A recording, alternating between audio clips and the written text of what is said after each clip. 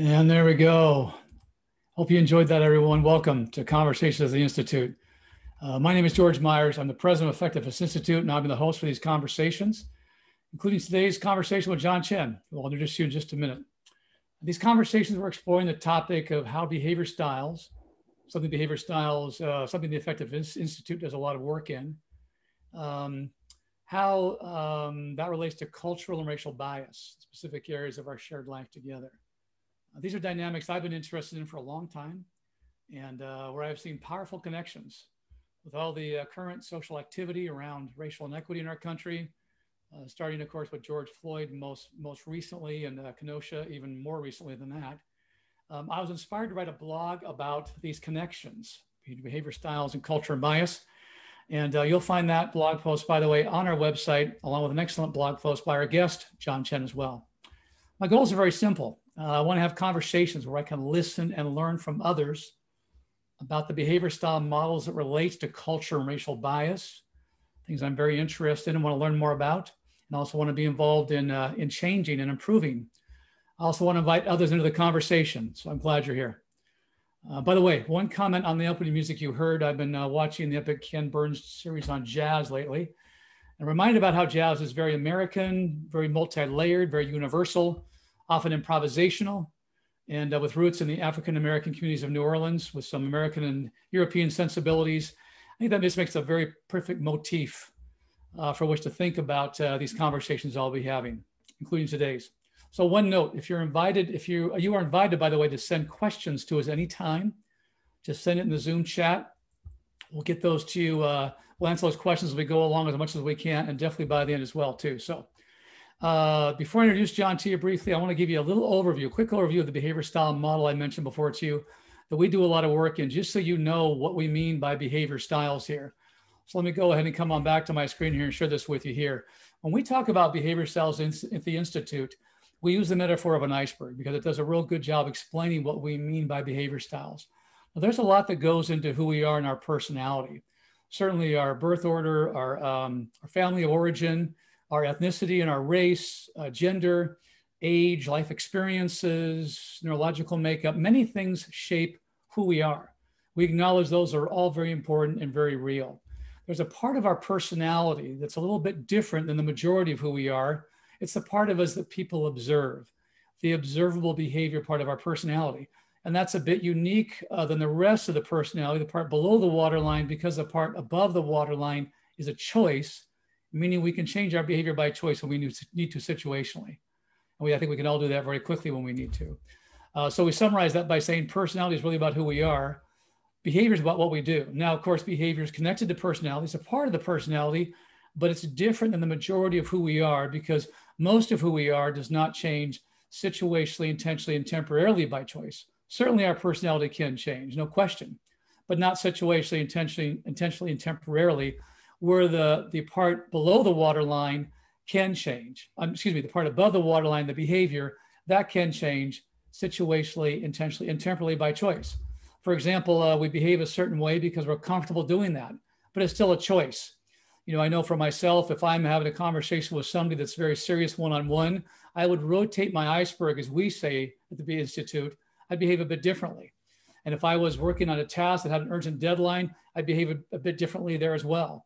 If I was proving a document that required a lot of attention to detail, I'd also behave differently. But all these different ways I could behave, I would tend to want to get back to a certain way I like to behave, okay? Because that's more of my comfort level.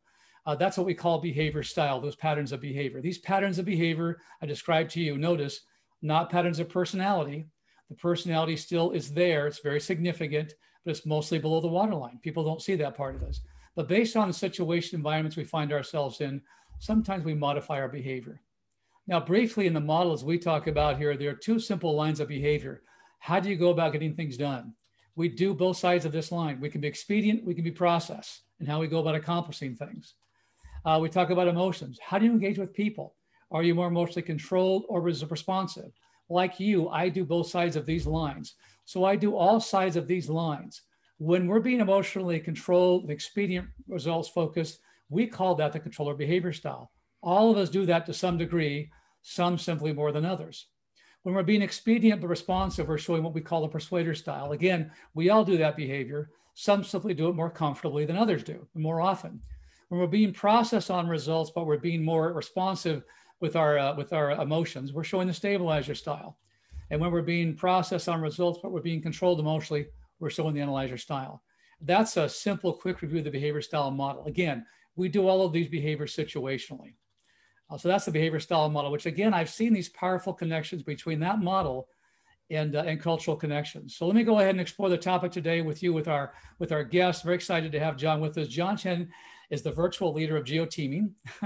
He's been virtually uh, meeting for over 35 years, the author of Engaging Virtual Meetings, by the way, a new book, 50 digital team building games, games a top selling business book. There it is right there. It's a great book, great resource. His work has earned, has earned him multiple awards, more than 230 client, 30,000 clients across the world. In addition to leading geoteaming, he climbs mountains, he walks on fire, he swims with dolphins in the wild, he rides Harleys, he organizes Super Bowl suites while meeting with people from around the world from his computer. Uh, I tell you, I'm just thrilled to have you here, John, and talk with you about the subject matter. So, welcome, my friend. Thank you so much, George. It's an honor to be here. I'm so glad. Last time you and I talked, we talked about psychological safety. This yeah. topic, I think, is even more important. Yeah, I agree. Thank you important topic, but this is very important right now. And I obviously, as you know, I'm very compelled uh, by the subject matter. It's very important to me, uh, which is the one reason why I engage in these conversations. Tell us a little more about yourself, though, John. more about yeah, you. Thanks, George. Uh, my hometown is Stockton, California, uh, and it's a very small town. You know, it's like uh, out of uh, San Francisco, but had some challenges, right, in terms of race uh, in that that city. Mm-hmm uh, then I went to UC Santa Barbara, which is like a, a whole different, uh, you know, a cultural bias uh, where we can kind of say dude and we really mean both males and females. Um, so I graduated there with a degree in computer science. I came up here, worked for that little software company uh, next to your office, uh, Microsoft. Uh, oh, yeah. I, I worked there for 10 years, shipped 10 products. I got two US patents. And then I really found wow. a thing that I'm really passionate around. Uh, I always had this question, George, and I know questions are powerful for you. Uh, yep. I always knew there was something I was supposed to do. I just don't know what it is. And I had a coach like kind of like you, and he came up and he's, he's the only person he says, give me a weekend and I'll tell you exactly what it is. And so I formed this company and it's around technology. It's around team building that uses technology and adventure. This is my 23rd year of doing it. I've been in uh, Seattle now. Geez, was it 30 years now? This is my 30th year in, in, um, in Seattle, and uh, that's what I'm doing now. And so, you know, the funny part here too, what you know, a little bit about myself. Why am I doing this now? Um, 20 years ago, we experimented with technology uh, using webcams and saying, I think people can actually build trust on there. And that's kind of like when the light bulb went on. Uh, we tried to sell it over the last 20 years, and people are like, ah, that sounds interesting, but let's just buy that face to face thing. right. In March, George, people got interested again. Yeah, right. Something changed in March. Huh? Something changed. Yeah. Anyway, so that's well, a little bit about me. Well, and I met you, John, back when I joined the Institute 14 years ago. You were working with Sharon Andrade, one of our sales execs at the time.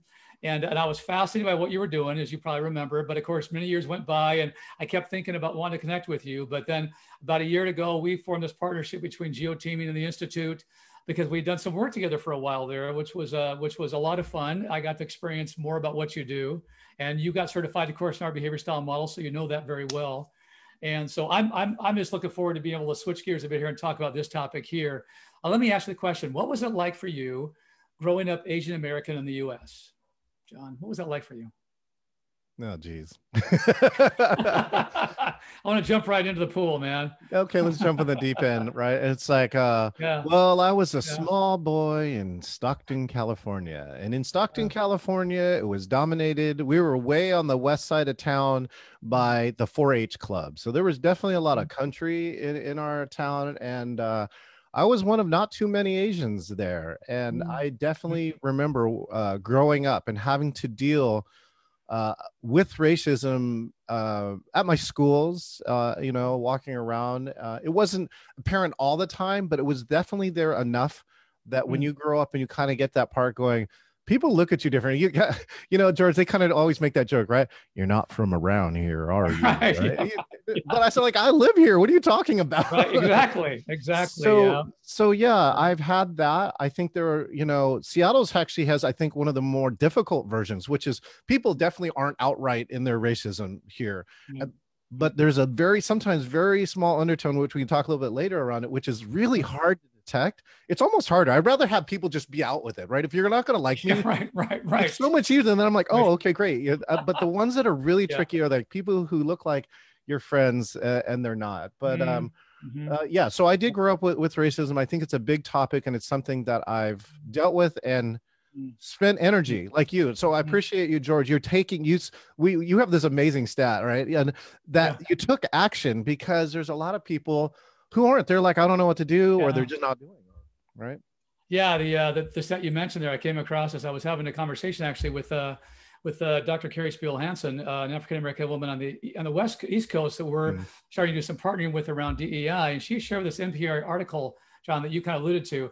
Uh, this is what I found on NPR recently. Uh, everyone, since the death of George Floyd in May, the question was by NPR: Have you personally taken any actions to better understand racial issues in America? And I got to admit, folks, I was shocked to find that the answer of whites was 30%. That was all. just And look that to around me is mortifying to think that that's that's that's it, folks. Come on, we can do better than that. My goodness gracious. So so that was just horrifying to me and very sad, actually. Real grief to me to find that's the case. So let's just go around right people who are joining us from all over thank you so much to Da- dana pratt from portland beth uh hong chor who's always been an advocate curtis from black dot uh Lissy Yeah. Bonnie, Julian, and uh, if you just did the stats, right? Uh, like one out of three. If you look around the room, you look at three people, only one of them has done something. something, yeah, something. I mean, that's all, just something. So yeah, that's that's and that's of course one reason why we're having these conversations because I, I want to continue to do what we can to influence people, to encourage people that hey, engaging is, is not only important, but it's okay. We need to do this. We have to do this work. This is important work for us to do as a nation, as a country, for ourselves as well. So I'm curious to know, John, when we had conversations, you talked about the bamboo ceiling. Would you tell Yeah. me a little more about that? Have you have you experienced that? Uh, yeah, but before I tell you, I'm just going to help reiterate this message because I know how streaming works. If you're going to turn the stream off, listen to this one thing. Do something. Get into that thirty percent. Make that thirty percent, Yes. hundred percent. Do something. Anything. That's the goal. That's the goal. Yeah, read a book for goodness sake. Something. yeah. Anything. All right. Yeah, watch Anyways, a conversation. Anyway, yeah. uh, let's Agreed. go back to the. Um, You're here. You're I- here. I spent a lot of my corporate uh, time at Microsoft, and when people ask me, uh, I didn't think so, but I I think I did. And here's what happened. Um, I was actually one of the fast risers there. Imagine that, George. Yeah, Right. yeah no, Uh, and and uh, so and I got to a certain level, but when it came to like the management levels, it was really difficult. Um, you know, uh, I think there's only been one or two really really high ranking. At least at the time when I was there, there was only one. There was only one Asian American who was in the VP level. I know that has gotten better, uh, Yeah. but it's still not representative of the audience. And so I Mm-hmm. did feel like I hit a ceiling. And uh, so, so the, actually, this is a good stat too, George. So one of our organizations that you and I do a lot of work with is Executive Development Institute, and what they found out that um, uh, is that even though Asian Americans have 200% the national average in education, like a, a bachelor's degree and above. Yeah. We still only have a 50% or less chance of having a job, uh, an executive job in a government, nonprofit, or a corporation. 50%. yeah. I, So it that's- Yeah. yeah, you, those statistics, it's kind of like it's, it's uh, the, pe- the people that are in the, in the country that still think racism is not a problem at all. I think, well, okay, there's many other statistics. We can quote a lot of them, but it's hard to hear that statistic and not say, well, there seems to be a problem there, right? I mean, it seems that obvious. to me, it certainly does anyway. Yeah, Okay. yeah, Houston, Houston, we have a problem. Hello. yeah, absolutely. Not, not, not rocket science here, folks, right? Um, Well, so and wait, let me just add this piece too, George. Yeah. Right. For me, mhm. I could have tried to fight the route, but it just didn't seem. And it's so funny. When I decided that I was going to start my own company, and I Mhm. said I can break this stat by cheating, quote unquote cheating, which is yeah. start my own company, because then I immediately get into the executive Yep. level, Yep. right? Only then did I can, and I'll give a shout out to uh, one of my managers, Hal Howard, started then asking me, "Hey, do you want to like you know follow my steps, get promoted?" And I had to tell him no. And like six months later, I told him, and then I dropped my business plan on his desk, and I said, Uh-huh. "I really appreciate that you, yeah. right, were willing to give me a chance. I just want to Yeah. tell you." You were actually too late, but and why I didn't Yeah. accept. I, I so I told them too specifically. Please keep asking other people. For Mm-hmm. me, here's why I didn't say Mhm. didn't say yes. It wasn't about you. It was about me. Mhm. Wow. Yeah, well, uh, the, the stories that I, I, had last month, I had a conversation with uh, Dr. Kendra Washington Bass from Gwinnett County Public Schools. Um, uh, amazing, difficult, amazing conversations, but mostly because of the just how like opening the eyes. Like I said, John, one of the reasons why I'm doing this is because I want to listen and learn. Yeah. So I, I, appreciate your talking and sharing your story with me about this.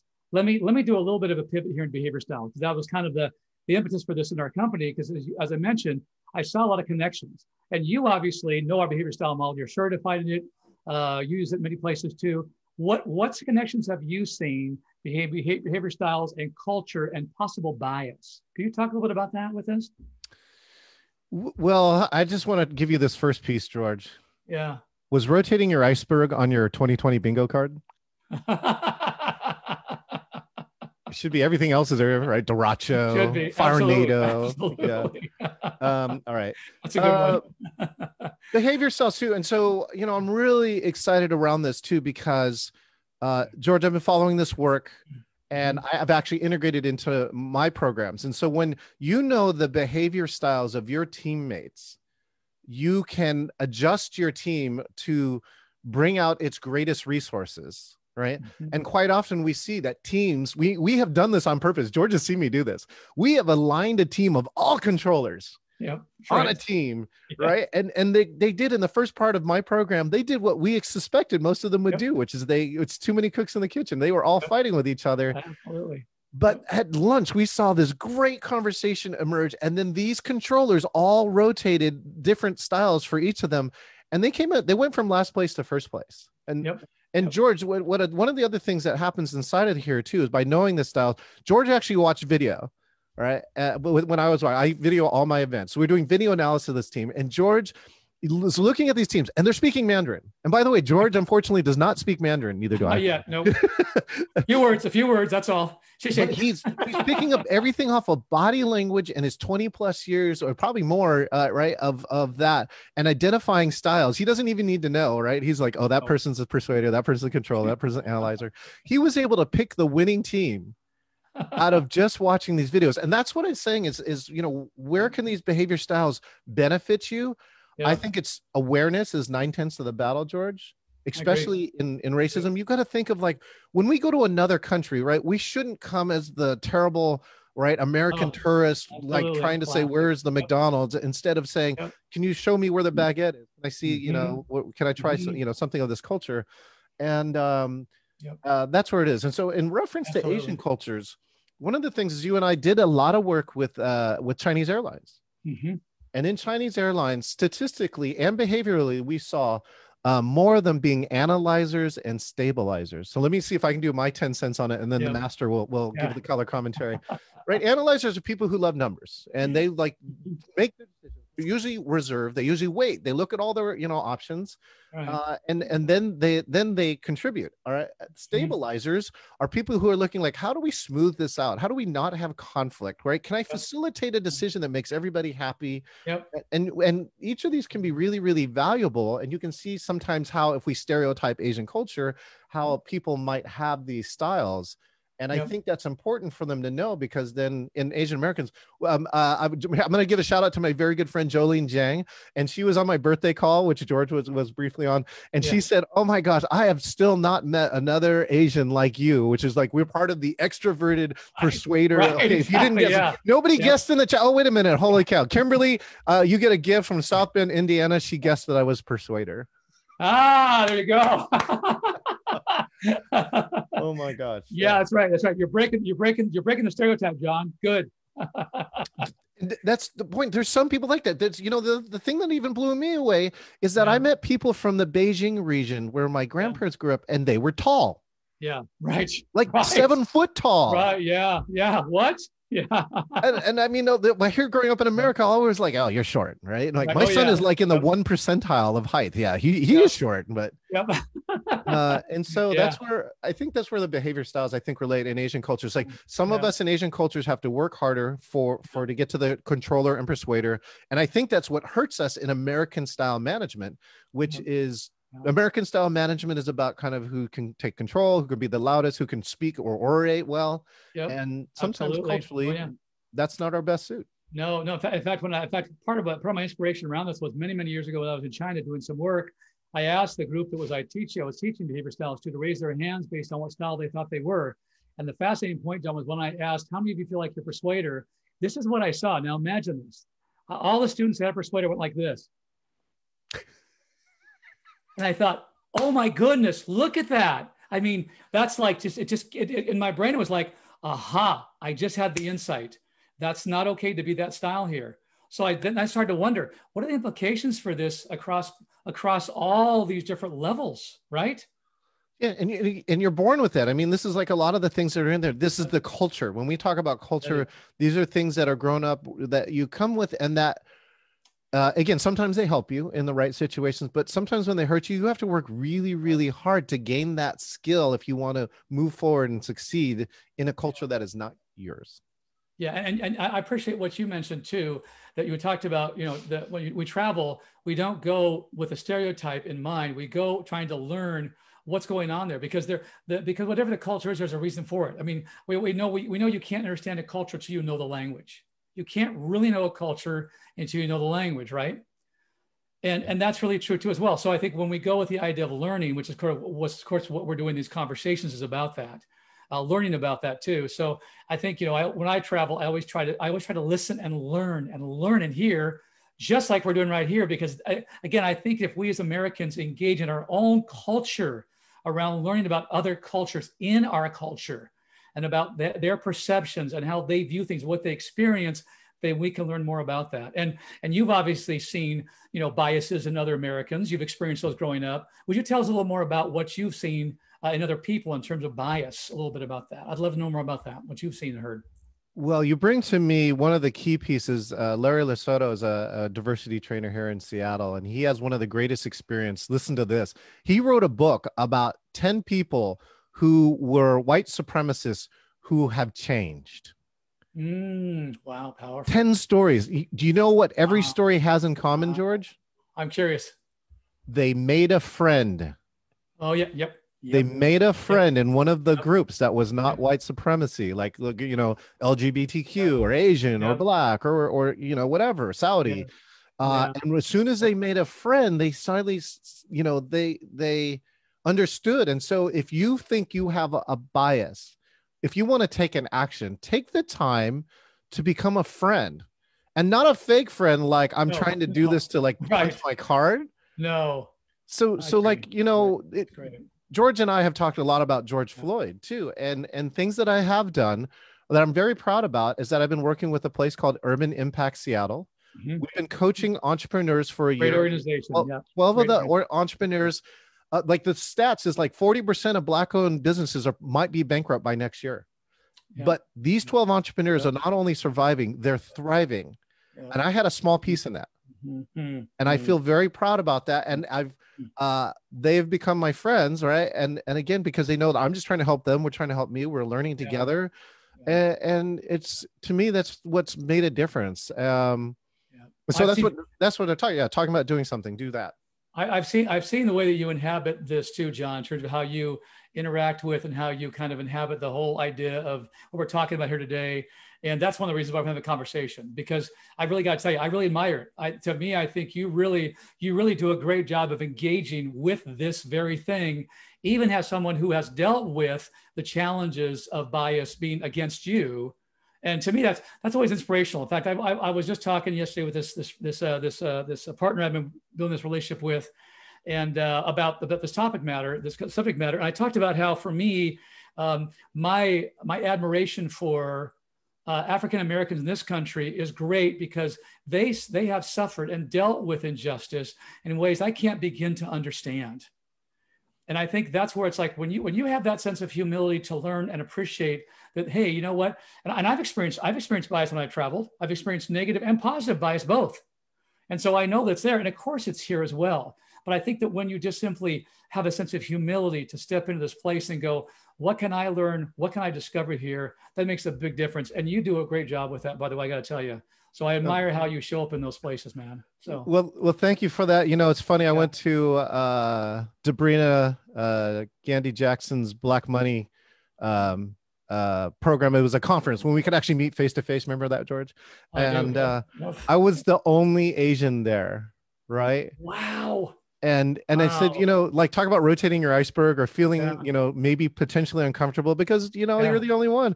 But yeah. I I felt comfortable because I knew people there, and I I want I'm there to support. And yeah, uh, yeah so this gets me the, this great term, George. If you haven't heard this before, right? This is uh, this is called Blasian power. Okay. Oh. Blasian right? Okay. Okay. Right? When when black and, and Asians collaborate, and they have been collaborating for years in ah, many many different ways. Yeah. Uh, one nickname for that is Blasian Power, and um, yeah, that's what I, I, can say is again try to get into those experiences and be invited and be helpful and and do it. You know, the hard part is too. I've heard George too. Is is they're finally getting some guidelines too, which is don't try and take over either. No, no, exactly. For once, like you know, most of us who are used to being leaders and stepping up, and I know you need that to even get there. But yeah. when when you get there, just to hang out and wait, absolutely, and wait for somebody to ask you to do something. Don't don't try and take over because I think that's. Yeah it's their culture right in, in those cases and that you you're the visitor and you need to i liken it to to visiting foreign countries and by the way if that's one thing that you want to do in terms of like learn less bias is is when we can safely travel. I have learned mm-hmm. you and i have learned so much from international travel things that we mm-hmm. would have never thought about because you got to get into somebody else's life and somebody else's culture. Absolutely and the way to do it and think about it like that is to prepare is to yeah. learn something about that culture and then when you get in absolutely learn it slowly and and, and find ways to experience it uh, yeah. and and ask as opposed to like trying to put your own culture on top, top of somebody else's culture so absolutely um, one of my powerful experiences i can briefly share when i was traveling to the middle east uh, the first time uh, and i got was uh, i got to the airport late because i landed late my flight was late I'd never been there before i was a little nervous it was during it was during the time of a lot of upheaval in the in the uh, middle east with the us being involved i was a little nervous of course understandably never been there before but my flight was so late my luggage didn't arrive uh, my ride was not there. They had gone. It was already it was like 12. It was like after midnight.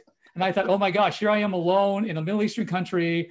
Uh, I don't know the language. I don't know what's going on. And there was a, a they said, well, they got to take a cab to your hotel. So I got in the cab. This guy's driving down these streets. I have no idea where my luggage is, where I am, what's going on. And I'm thinking, George, pay attention. Can you imagine how you feel? Imagine what other people feel. Pay attention to this feeling. It's uncomfortable. Yeah, yes. it is. Okay, well, then you can have empathy for people when they feel uncomfortable. Yeah, absolutely. Get it. So again, I think like you said too, you travel, just pay attention, be aware, listen, learn. Don't come in like you know, or don't come in as the touristy thing. Just come in and listen and learn. Because if you pay attention, you get a lot out of it. You get a lot out of it. You do those experiences. So you've probably had experiences too, I'm sure, where you've had learning moments as well. Do you have do you have any particular learning moments you could share with us that kind of real powerful ones for you that you've had either traveling or even here in the U.S. Uh, well, if you don't mind, I'm actually going to share uh, the story about my grandfather. Is that all right? Don't mind at all. Totally, you bet. So the reason why this story is so important this is this is part of my family's culture. And by the way, it was uh, mm-hmm. Ami and Hong. Thank you mm-hmm. so much. They were they were all there. Uh, Hong actually said, "I definitely had those moments where an organization has made an uh, opportunity available to me as I'm heading out the door." You're too late, people. too late. Anyways. Yeah. So, but but talking about this, my grandfather's stories is so important because like these are hot topics now. Immigration mm-hmm. is a hot topic, and so allow me to share this story. Let's I'd see if I can get this to work. But Ta-da! Oh, look at this. hey, okay, cool. this is a story about Paper Son. If you know what a Paper Son is, I know all you people here on Zoom and on um, Facebook Live uh, say yes, chat yes if you do, and no if you don't. So, what is a Paper Son? So, as I do that, let's move along. Yep. This is my grandfather, um, and so his name is uh, Wong Wa Gum. Right? Uh, me and our family we called him Ang Ang. And by the mm. way, this is actually a digital scan of his wedding certificate. Um, he came from a very poor village, mm. and it's called the Lung Tao Wan. Uh, it's called Dragon Head Turn. If you look, the mountains here are the back ridge of mm-hmm. a of a dragon, and that the head, the river is the head of the turn, is where the dragon's oh, head is supposed to be. Okay. So yeah, things okay. like that are in Asian culture. Everyone's always yeah. looking like, where's the animal? Where's the things like that? Yeah. So. Oh yeah, yeah. Um, by, by, by, the way, can I ask? Can I ask? Where's that in relation to the? Because uh, I've been to uh, Qinhuangdao, which is where the where the dragon, uh, where, the, where the end of the wall is at. Where is this in relation to that, John? Oh, not near the. It's a uh, Guangzhou, right? Guangzhou. So near Hong Kong, gotcha. right? Okay, gotcha. Thank um, you. so he was poor and he was also orphaned. So talk about um challenges he was orphaned as a as a small child, and so um, he he didn't he, he was not rich. So let's uh, thank you, Song No, Barb No, even Hong Chhuor, right? Hong Chhuor is in PR and communications. Uh, used to be at the opera, and even he says no. So good. So so like this, like George said, listen and learn. Let's All right. Exactly. Uh. For those of you who know about the Chinese Immigration Act of 1888, go ahead and chat yes or no. Um, so the problem is that there was a law called the Chinese Immigration Act. So George, have you ever heard about this? I actually have. Yep, from you actually. Yeah. So in this case, uh, imagine that uh, it's like 1888. They thought all the Chinese people were taking all the railroad jobs. So the Right. way they did it was passed a law. Right. Yep. And so this is, I think, the first law that um, discriminated against a race. Uh, and I know that that slavery is in there. There's some distinction that's around there, but I think this because it's uh, uh, this type of immigration law. Anyways, uh, definitely one of the first that uh, hit a whole race. Uh, they thousands of people were definitely coming in for jobs, and this limited it to only 106. Right now, there's a loophole in the law, and the loophole says if you're the son of a of a merchant, a business person, then you can get in. And the reason why is they they were trying to keep the lower uneducated people out. So instead, that that they were trying to um, uh, say that oh well, if you're educated, then you okay, we'll let you in. So this is San Francisco. Yeah. So you remember this 1906, or at least you know heard read, read about this. Absolutely. Yep. Great, great earthquake comes in because everything's so close to each other. They crack the grass lines, they burn everything. And guess George, get George, guess what important building they burned? Hey, there we go. Okay. so the records, where the They- records were kept. They burned, yeah, they burned the um the courthouse, and the courthouse contained all the birth records. And so afterwards, they said, "Hey, anybody after the fires come, we're, we're rebuilding our birth records. Um, uh, if you had kids, could you come back in?" And so uh, basically, they came in there, and every Chinese business guy was like, "Yeah, I got five sons." I Yeah, so. yeah, right. Sure. So that's why they're called paper sons. They were invented. Wow. Wow. because with this important birth certificate you can now get into the country Wow. right Hmm. so they actually sold them and they sold them on a, on a market and um, there was um uh was it was like a hundred bucks a year so my, my grandfather was uh, 20 years old so it cost him two grand of 1912 to 1916 money that's a lot Oh, that's a lot of money. Right? And so and so uh uh his uncle because he was adopted sold a third of his farm gambling on him right uh, and so and my grandfather was expected of course kind of pay him back with some interest or something like that but you know it's a family loan so Hmm. um but what happened was is that yeah so you have to memorize all these facts so george let me just ask you some questions about your house how many windows does your house have Uh, 21. do you have pets No. Uh, do you have stairs Yes. how many stairs are there from the first second floor Eight. the reason why these questions are all important because that's what happened is that when you arrived uh, you had a boat trip right and you had all these fictitious facts about this family that you're actually not really part of george three days before you get here on the boat you have to throw off the book because you can't be caught with it otherwise you're cheating. Oh, yeah. Oh, my God. and you go to angel island and on angel island the first thing you're greeted by is guys in white lab coats separating the men from the women from the children they don't speak mandarin wow. that's your first and by the way the color white for chinese culture is the culture the color of a ghost Oh, my goodness. Wow. Yeah, they were doctors. They were Wow. quarantining the people, but they spoke nothing. And so people Wow. got off the boat and they were totally disoriented. Welcome Oh, to yeah. America. Oh, yeah. Welcome to America. Yep. Then they were put in these conditions. So a room uh, that that normally would hold uh, 50 or yeah, held 200 or more. They were these bunks were three high. The the the conditions were so bad that they rioted multiple times for better conditions. Hmm. Even the commissioner came in there, and so you waited, and people waited anywhere from two weeks to 18 months was the record, because you had to take a test and you had to pass immigration. You fail the test, you get deported, and this is the sad part, George. Right? Um, if some people when they're deported, yeah, I think you know the the concept of face, right? You don't want to lose face by going home and having somebody spend all this money on you and you get nothing. Absolutely. Yep. Some some people chose to commit suicide Oh, yeah. because they didn't want to face the shame. 10% of people out of uh, 2 million were turned away. So 200,000 people either faced the shame or or took action. And it turned so basically what my grandfather didn't know when he bought this thing was that it turned into a life or death game.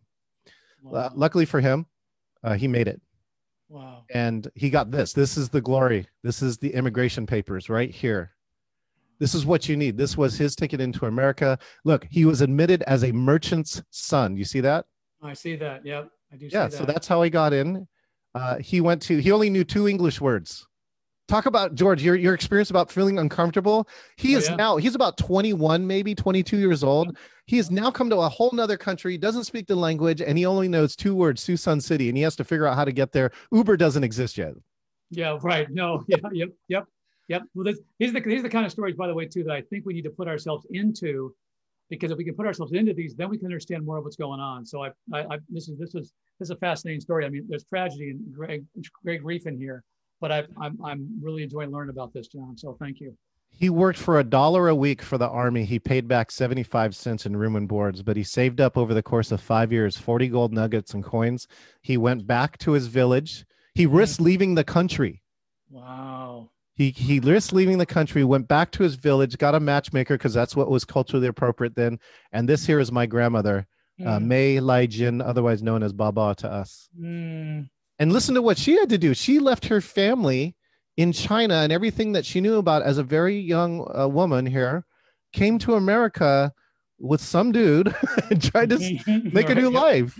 Yep. Yep. And this is what they did. They they grew five kids. They my grandfather only had a third grade education. He he had a gardening business. He eventually had a grocery store. Mm, mm. Uh, he ended up owning two properties. And Wow. these five kids Wow. are all college graduates. Wow. Uh, Uncle Bill is a doctor, and one is a PhD in nuclear physicist at the Lawrence Livermore Lab. My goodness. And this is my mom here on the bottom right. Uh, bless her soul. She's not with us anymore. But I wouldn't be here, George, talking to you Yeah. without uh, my grandfather going through this story Mm. because that's, you know, that's how we got here. And that's what a paper son is. And that's why I'm thankful every day that I'm here. My grandfather, I tell in my, my Boeing class, right? I tell Mm. people, I hope that the spirit of uh, adventure and entrepreneurism is here and leadership and teamwork. It took a team for my Mhm. grandfather to get here, by the way. It didn't, he didn't do it by himself. Mhm, Um, mhm. And uh, that's what it takes to get here. And I, that, that story influences my life every day. Oh yeah. Oh yeah. Well, I can understand why. That's a powerful story. Thank you. Thank you for sharing that, John. You're Um, it's a, it's a, it's a little, um, you know, I, I feel, I feel a little bit sense of, I, I, yeah, I'm humbled by that, that story because, uh, because I know again, this is where, you know, we talk about white privilege. It's kind of like a matter of, you know, my story that I have, it's ancestors that go back that came over on some boat and it's just kind of whatever. And they came here and just, and there was, there was nothing like these challenges there, even back then too.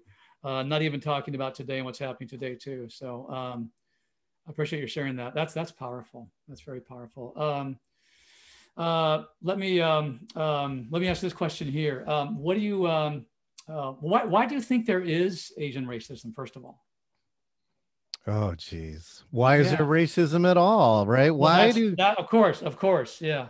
now? Now there is one part that's easy, right? Okay, so George, you also know, right? We're, and you've read the book Blink. Yep. As peop as people, we're judgy.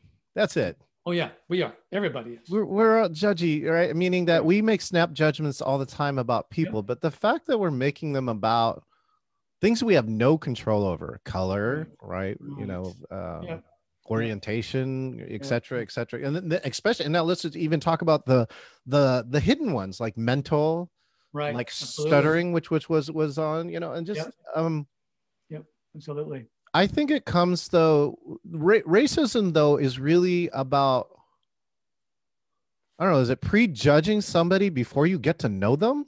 Because that's I really try hard not to do that. I mean, all of us still do some version of it, Sure. right? I think Yeah. we've all caught ourselves when, when we go to places and you're like, you either lock your doors. You, I think I don't know. Maybe that's just safety though. Uh, That that it, it just depends. I think what racism happens is when you take a belief that's not actually really true. Mm, And so I think there's that piece. Mhm. I think there's also a secondary piece where people, I think you and I do a lot of personal development work. And I think sometimes Mhm. people, whether they look successful on the outside or not, Yeah. don't feel powerful. And so they seek other ways mhm, to, to be mhm. powerful. And, and I don't, I think these are, most of these are unnecessary, but, and again, feeling powerful by putting other people down. Yeah. Yep. Yep. Absolutely. Yeah, I agree. I think so too. Why? Well, I, am thinking about I'm, I, what you what you talked about here reminded me of behavior styles, and I know uh, from a from a pure kind of man male perspective, Yeah. that uh, that when sometimes I'm around other men and I can sense very clearly that if you can't do controller, you're not really a man. Right. And that and that doesn't matter. I mean, that's that's that's like even like a this is like me with other with other older white men, if you will. You know, uh, like so. In other words, because I don't have that behavior style preference, I'm not somehow enough like enough of whatever you think that is, right? And so it's so to me, I think even at even at a level like that, if if if bias exists, then of course you're going to find some ways to to, to chop that up, to find ways to, to filter that into all kinds of different areas.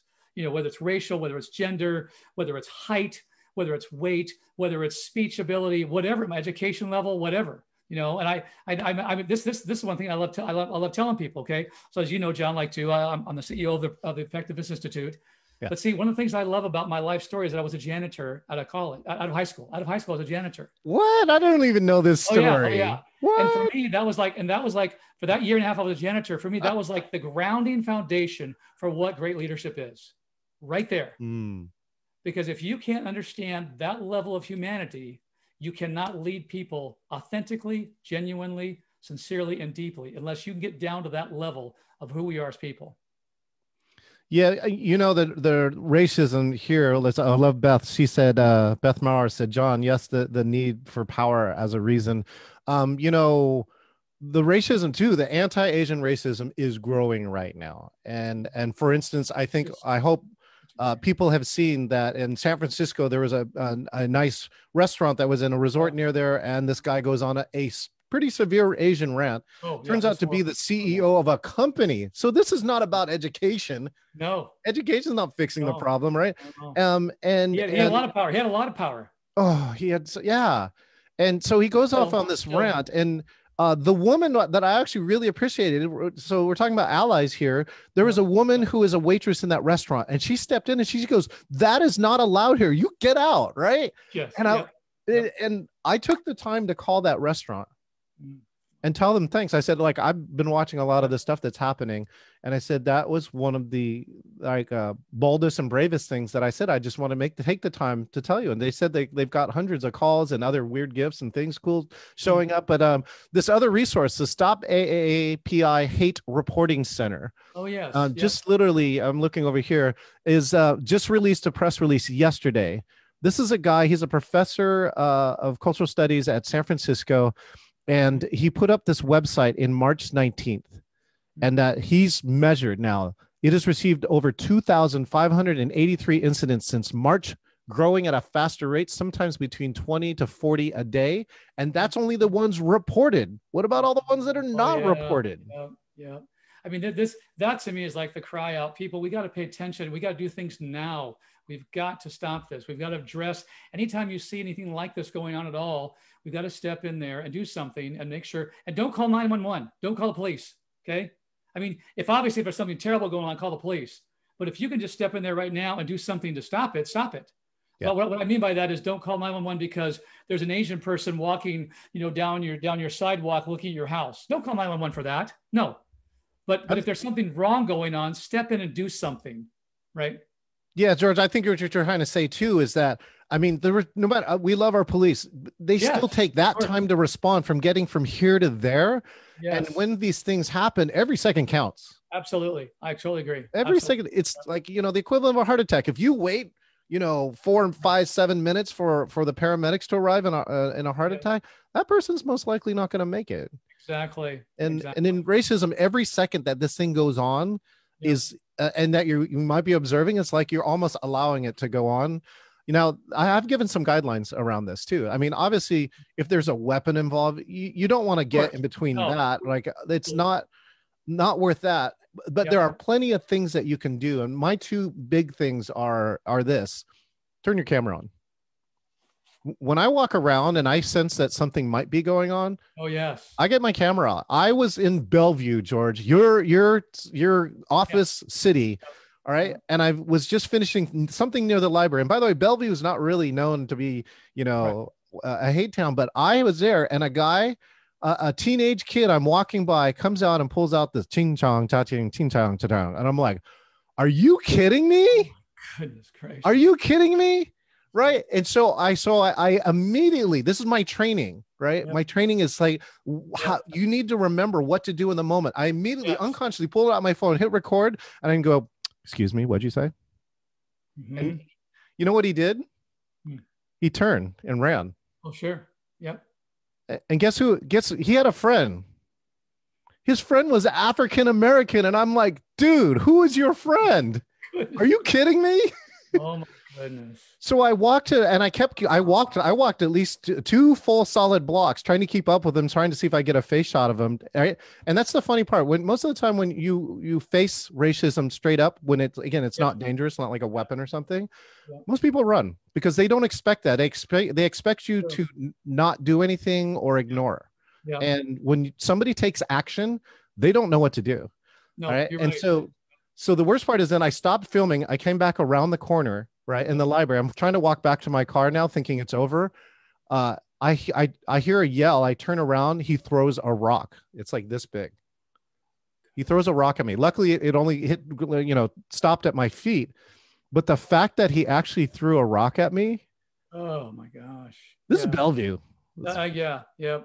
Yep. and so so anyway so it, the number one is is uh your camera number two is report uh people do track this whether it's the stop AAPI uh, the police actually carry you know what and, and listen to me even me after all my education i'm like i didn't get a clear shot of his face so i'm not going to bug the bellevue police when i posted it online though Yeah. i had three or four people come tell me going no no no you should actually give that to the bellevue police because they can recognize people by clothes and body shape Mm. and as extra parts. And so I actually took the action a week or so afterwards to give it to Bellevue. I'm not sure if it amounted to anything, but I didn't even I didn't think of doing that. So Well, that's good though. That's good, and uh, great tip. I, I, I, everybody listening to, I encourage you the same thing too. If you, if you think you're, if you've seen something going on that you're, so wait, there's something about this is distance that you seem right. Turn the camera on. I totally agree with you. I've done that a couple of times too as well, and it's just amazing how it changes everything. Just changes everything. So I actually was afraid of getting attacked one time because you know I think somebody was upset at me because I'm I am an older white guy and I understand why people have emotion around that. I get that totally. This guy was wanting to I think was attack me because of that. I turned my camera on like I'm not doing anything here. I'm not doing anything wrong at all. So what you're doing is not appropriate right now at all. I'm actually here to support and be a part of this. So and it stopped immediately. So I thought, okay. So that of course that was a little self-protective. But like you said, still turn the camera on whatever you see something going on because uh yeah. let the let the world judge. That's what that's what I think that the the the the change of all these cameras and the power of live casting and social media is that it's coming unfiltered. Let the world judge what was happening. Uh, you know, at least on the initial pace. And of course, you know, if it gets to the law, you're gonna have to do that. But but the world will judge very quickly in terms of that. And I think um those parts are, are important. I, I think that is one of the I, I I think it's one of the best ways because again, if you capture it, right, people can make their own judgments about whether you think it's okay or not. And after Yep. that, then it's on you. yeah. well, let's do this. Anybody have any questions? Uh, again, there, it's an open time here, but if you have any questions, send those to us right now. I know that John and I both would love to hear your questions uh, to answer those. So let us know about that too as well. Um, you mentioned the camera thing. Was there anything else you'd suggest that we, we do, John? Anything else we could be mindful of? Be Yeah, helpful? again, again, the the, the website um, again is uh, stop AAA uh, AAPI. That's for Asian American Pacific Islander hate, uh, and they're actually apparently moving to a new site. But uh, again, that's a big piece uh, around it. Um, We also And- did in the chat, by the way, we did post uh, your blog post, John, that you wrote. So again, if, if you want to click on that link in chat, you can fill up there. You can go to our website and find it there. Uh, and you mentioned that as well. You mentioned that resource there as well too. So Let me add this. So uh, again, Hong and I have, are, are great friends. Uh, he has an amazing restaurant uh, too. Uh, he said, "I wish there where, were more." where, where is it? What's up? Where's his restaurant? Oh, uh, geez, uh, King Donuts, I believe, if I got it right, Hong. Oh. I've visited the location. It's in on Rainier Avenue. Uh, it's a little bit before. South Seattle. I'll check it Um, out. Okay, cool. He said, "I wish more people in this country were as close to their family's immigration story." But this is a good one, George. I think that what we're discussing here is racism at the individual behavior level, which is overt racism. Then there's an institutionalized and systemic racism. Yeah. So let me make a comment, and I love George's piece on that. So institutionalized and, and systemic are things that are through, in, uh, you know, large institutions, meaning sometimes companies, Mhm. Right? Sometimes companies are doing this and sometimes they're not even conscious or aware of it and that's where i think not getting promoted into key pieces of leadership come in. Um you know institutionalized also is this law right? An anti-asian law a chinese immigration act is stuff that that are doing and so uh and i really need to call out that i do believe that the the connection between using the word kung flu or china china virus right now is adding to the asian american uh challenges of which many of us i don't know people you know people if you see or heard other people they're like go home and so you know our response for those most of us who are on here are like okay i'm home now what do i do Right. Yeah. Yeah. right which is like so people are taking this and saying that we're to fault or to blame and i'm like i i wasn't in wuhan Yeah. Exactly. Exactly. and who knows what even really happened there? We don't even really know. I mean, so that's just it. Yeah. Exactly. I agree. Yeah. All, all that is all that is just such a grief, and it's so. Yeah. I mean, I, I don't have to go on about how wrong that all is because hopefully everybody listening today knows that and recognizes that too as well. But uh, but yeah, to your point about that, when you when you see something, when you capture something, to, to share that, to increase your awareness about it, to be more mindful of these things, really helpful to do that too as well. So we got to do more of that as well too. So um, um, yeah, and watching the language too. So that's a big one. Um, so george well, let me see if we can get into yeah, what it- systemic racism. no institutionalizing and systemic racism i mean because it is a bigger problem so i mean what Well, have you yeah. seen or what what do you think can be done there Well, that's a, that's a great question. So I will go and share with you. I do happen to know someone, uh, an African American uh, uh, man who is on the Police Commission of Seattle.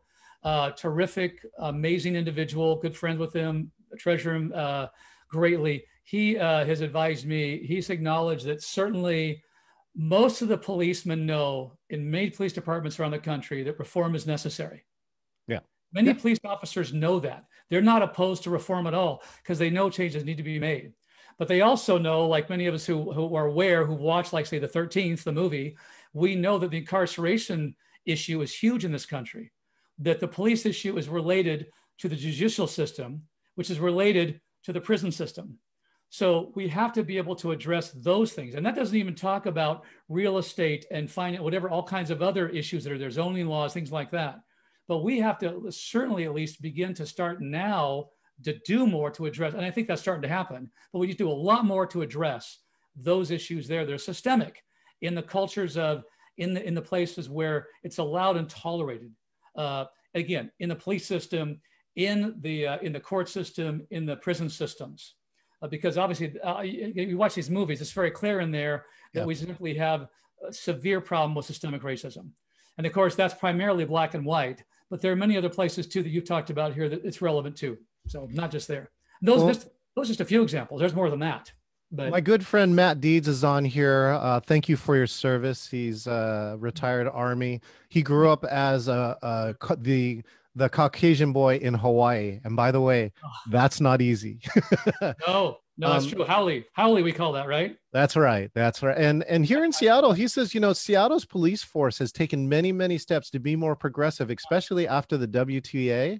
Yeah. Uh, and so you know that Seattle's police force has really Yeah. done a lot of really positive actions over the years. It, this is just such a challenging time. I hope they continue. You know, that's there's we don't even know what's about to happen No. um, with that. But I do believe that one piece here in the institutionalized and systemic racism, uh, especially for all those either who are allies or people of color, um, is you got to get on some of these boards and leadership positions.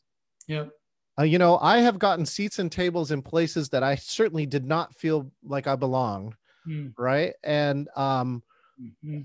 and and so and and I said yes to them because I don't think there's the, the only way to really start changing something is from the inside. And so if you get invited in for whatever reason, right, that you should get in there and really uh, see if you can get in and make change. Now it's going to be difficult. Don't get me wrong. You might be the only one, but there's only one better way to attempt. It's so much easier from the inside than the outside. Yeah, yeah. Well, I think I think what you're talking about too is there's a lot of fear. Uh, in fact, in fact, Kimberly just made, made a comment about that too. Tremendous amount of fear, false events appearing real. I know. Uh, look at Kimberly. Yes. Great acronym for that too.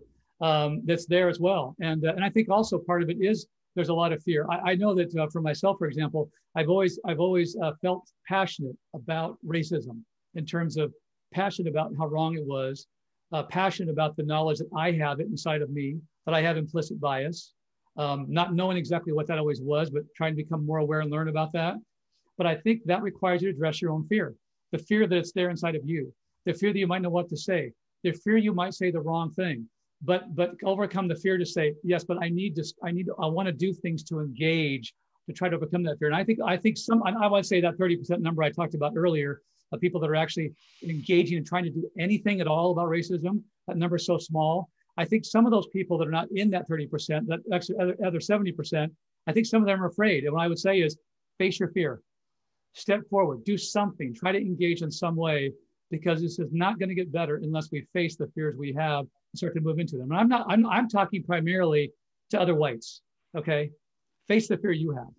So I think this, George, will give the guidance that I've been giving ever since coronavirus started, which is people, which is fail faster. Yeah. Right. And and so I understand, right? I'm that guy, which is like if you yell at me that I didn't empty the dishwasher, I may never do it again. But what I'm saying is that that is like push through that, fail faster. I'd rather have you and hear you fail at something because eventually you're going to find a piece of success. Mm. And once you find that success, I think you'll find what it is that you get from contri- you know from contribution from giving from something where you're not expecting anything in return but if something great happens you know everybody here that is listening or watching each of you has particular gifts and skills and i hope that you can apply them to this problem because it is a problem yes, and if you could just make it better even make it better in your small space or wherever oh, that is. absolutely. Oh fail fail faster. And the second thing really i can i can get on with like if you don't if you can't decide what to do uh, we have this really cool coalition that we got going on george right now. We only mm-hmm. have two tenets to this. So it's kind of called the common sense coalition and it's basically register people to vote. Every eventbrite uh, registration uh, program that i'm putting out there has a free link to register to vote. And the second thing that we're doing is just educating people about the issues and your candidates. Vote. Fantastic. That's great. That's fantastic. Um, well i know we're just about out of time but i want to i want to say first of all i want to make sure I, I, I let you know john thank you for coming on. Thank you for spending the time with me. Thank you for sharing the stories your thoughts your observations. Um, i appreciate you're willing to take a step forward and kind of do this as well. So kudos to you. Thank you uh, for that. I, everybody here attending, I, I want to say for them as well too. Thanks for that. Your story about Paper Son that was educational for me, so I appreciate that um, and for taking the time to do this. Um, and we're, we're going to have more conversations too as well about this. I know just talking a little bit about the behavior style model again, and you talked about the stabilizer analyzer preference. Uh, one of my uh, one of my uh, good friends who I've worked with, you know her, Colleen uh, Yamaguchi. Yes. She works with EDI. Yes. And Colleen may be a guest. I hope I hope so sometime time. I hope she'll be a guest as well Get this. Her. But she was the ones the ones that talked to me a little about my unconscious bias about that too. That I was aware. Oh my goodness! So she caught me on that too. You know, it's uncomfortable sometimes but that's okay. Be willing to be uncomfortable because you're not going to learn unless you're uncomfortable, right? We all know that. That's just pure leadership skills and strengths. So, so anyway, so thank you, John. Thank you for those that were attending today. I appreciate that. Uh, with that, I'm going to wrap it up. And just one more time, just want to say thank you for being here. Thank you for joining in. Thank you for being a part of the conversation. We appreciate that. And um, let me go ahead and uh, close this out here with a little bit of a, a little bit of a, a, thank you very uh, much. So, George, let me let me say the last word here, if you don't mind. No, you bet. By all means, have the last word. George, thank you for having these conversations. Thank you for taking the time of uh, taking an idea into reality. Uh, thank you for being part of this 30%. You are doing something, right? And and thank you for furthering the, the conversation. And what I said, use the resources you have. This is you, this is your platform, this is your company, it's what you stand for. Uh, and I appreciate that. Find your way, whoever you are. But George, this is your way. I really appreciate you taking time and energy to do this. And, and again, this is really, I've seen George, I've watched George. George really cares about this conversation. That alone is one of the, the best parts. So not only the, uh, the action, but the way that you take those actions. And so uh, please, any of you think about how you can help either amplify or share or make a friend, right, of Absolutely. other people. There you go. Uh, there you go. George, you've been one of my friends over the years. Thank you so much. And the only part I can do is teach you, of course, to say goodbye in Chinese. You know how to do that? Uh, let's see, I do. Zaijian? Zaijian. Zaijian. There we go. Awesome. That's great. bye bye, everybody. We'll see you Got it. Time. Bye, everyone. Thank you. Have a good weekend, y'all. Keep keep fighting a good fight here. All right. We'll see you later.